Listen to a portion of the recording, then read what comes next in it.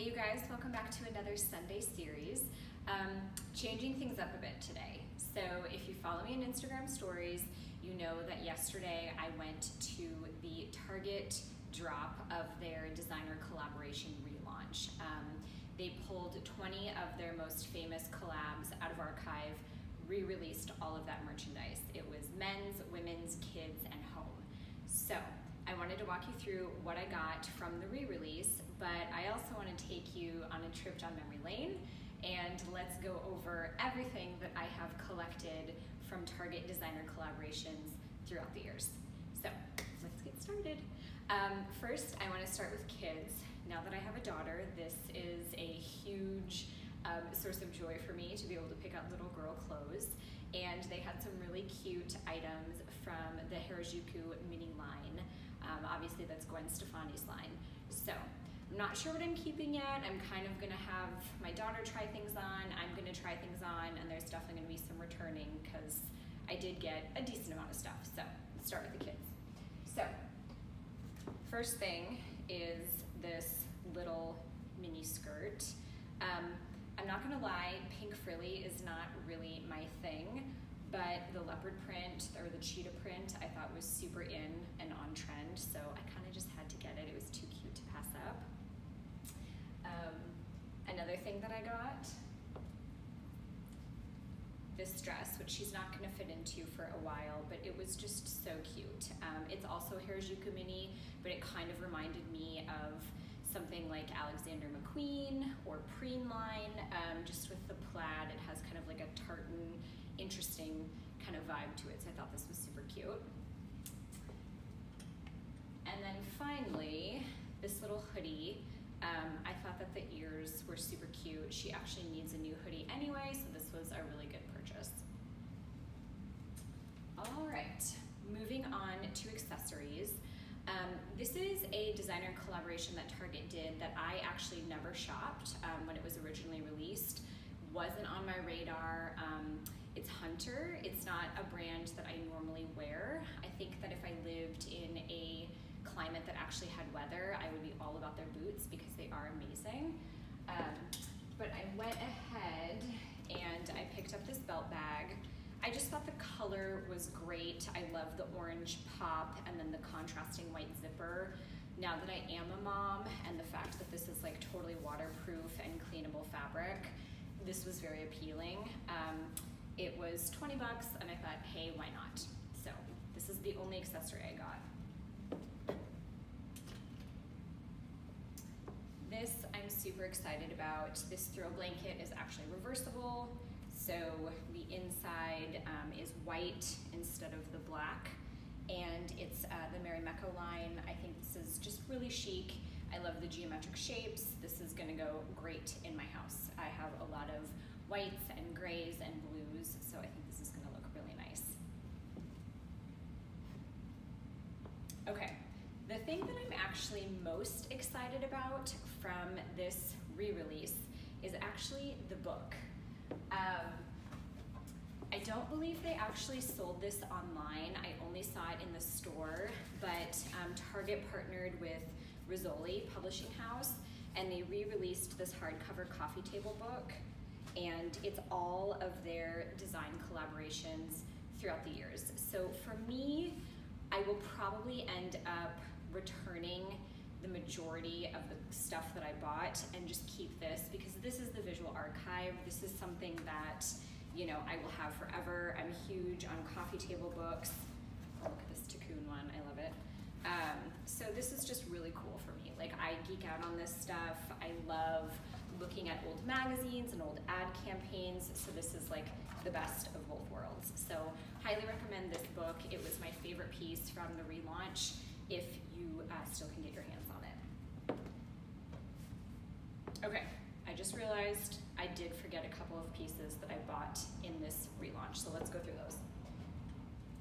So first, speaking of um, I did not buy this collection when it originally launched. Um, I honestly don't know why. I'm a huge fan of Thakoon. I think that I probably was maybe burnt out on designer collaborations. Um, I think at the time when his collection launched, there was like the H&M ones that were coming out and Lanvin did one, Margiela did one, and it was just kind of the height of so many happening at once. I think that maybe there was too much noise and I turned uh, tuned it out. But I do love this print. I love that it's cotton and you can wash it. Um, I also picked up the shirt dress. I'm not sure which one of these I'm going to keep. I will not be keeping them both, but I like that I have options because they're both super cute. Um, let's see what else. I picked this up for my friend Jenna. Um, it's Isaac Mizrahi. The fabric is actually amazing. It's really high quality, and this is like not my color palette. It's totally hers. She's gonna rock it. But I thought this was super cute. A lot of people had this styled kind of like tied um, around the waist, and I thought that was really cute. Okay, memory lane time. Um, so I am super into designer anything and history, and so I want to give you like a few little tidbits. So the first designer collaboration that basically ever went on record anywhere was actually Halston, and he partnered with J.C. Penney. And the whole point of doing so was this was during the height of his career. Every woman was, you know, wearing his dresses. He was super, super big, and women could not get their hands on his stuff. Not only were a lot of women priced out, but it was so competitive that things were selling out before they even hit the sales floor because people had relationships with sales associates and it would just be completely gone before it even got released. So he decided to work with J.C. Penney and create a line to kind of bring his designs more to the masses. And that's basically what kicked off this entire thing that we're dealing with decades and decades and decades later. So, um, I kind of want to start um, with this. I don't know if you guys remember when Target partnered with Neiman Marcus. It was during the holidays, and they basically got several designers who each created, like, I think it was just one item for this Neiman Marcus launch. Um, this is going to go down in Target history as the biggest flop out of all of their collaborations.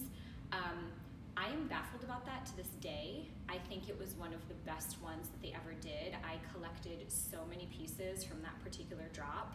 Um, if you remember, it was available in Target stores as well as in Neiman Marcus stores.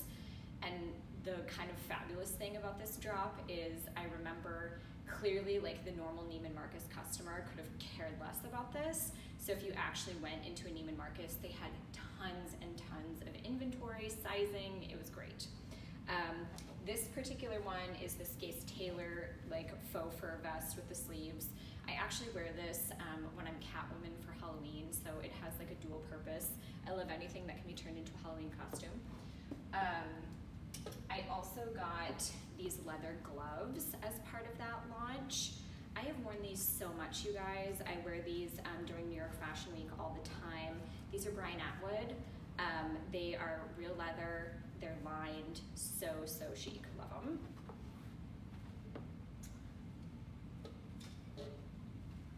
Another one. This is also probably one of my most worn pieces from that Neiman Marcus drop. This is Lela Rose. Um, it has like this little belt that comes with it. I actually usually put my own belt with it or just wear it solo when I do wear it. It has um, a drop hem in the back, so there's a little bit of a train. But I just love this watercolor print. I think it's so pretty. The silhouette is super flattering. Um, I have a very vivid memory of buying this dress. I remember being in Target and a woman was like, oh my gosh, that's so beautiful, but it's way, way, way too expensive. And I think that they priced this at $100, which for a Target drop is definitely over the amount that you think people would feel comfortable with. But within two weeks, every single piece from this drop was, I think, more than 60% off. So I ended up being able to price adjust this. I think I spent $30 on this, you guys. It's kind of nuts. It's probably the best $30 I've ever spent. Still wear this dress to this day.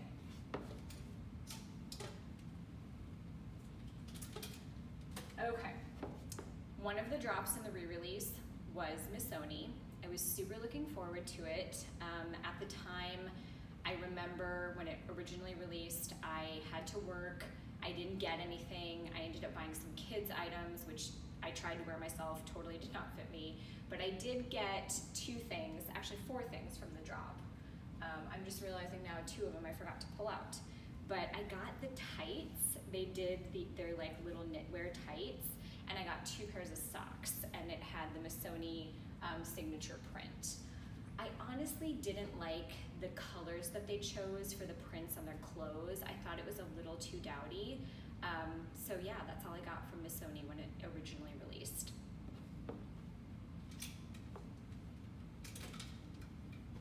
If you follow my stories, you know that I posted a backstage runway image of Gemma Ward wearing this um, top. Hers was actually the original. Um, this is Proenza Schouler. It they basically revolutionized this kind of like bustier type of top.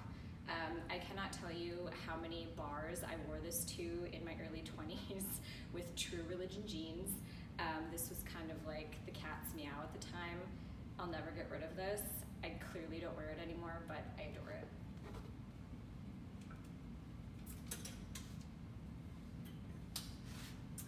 Moving on to Phillip Lim, um, I really loved this one because, as you know, I love comic books and anything related to comic books. And the boom scarf and the sweatshirt that he did, I thought were amazing. I only purchased the scarf, but I did also purchase his cable knit sweater. It has the little jewel encrusted neckline, with, which I think is so sweet. Um, this is part of the re-release, but I got this originally when it launched however many years ago. Here's another oldie but goodie. Um, this is the Rodarte dress. They re-released this in all colors. Um, I will be honest, I have never worn this, so it has been sitting in my closet for however many years. Um, now, I do think that I would pair this with a leather jacket and combat boots because the look is totally back. But um, yeah, basically, unfortunately, it did sit in my closet and I have not worn it very much. I don't know if you guys remember um, Patrick Robinson, but this was kind of an underground one. I think that unless you knew who he was as a designer, you probably weren't shopping this one. This is just a little shirt dress. Um, it has snaps. I actually wear this as a pool cover up all the time. I cuff the sleeves um, and still wear it. And this is probably, oh my gosh, 20 years old? Maybe 15? I don't know. Okay. Master of Prints, Peter Pilotto. I love, love, love this because this is my color palette. It's black and white. It's got the neon green accent. I still wear the skirt to this day. Um, this was like a skirt that I could still wear when I was pregnant and like kind of showing. Um, the slit in the side made it really forgiving and I was able to not like button it in the back. So this actually saved me in my pregnancy looking still chic when I had events to go to, but I wasn't quite telling people that I was pregnant yet.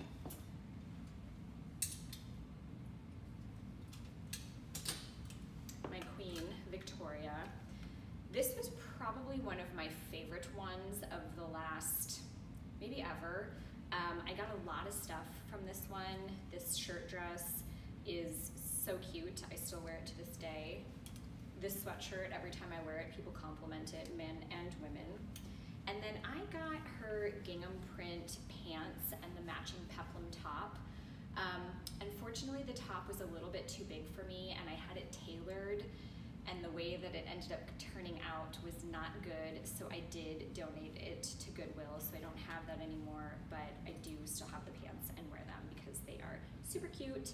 Um, don't wear them as much during fall, winter, obviously, but they're a great spring, summer pant. What else? Erin Featherston. Um, this was like when 90s style came back the first time.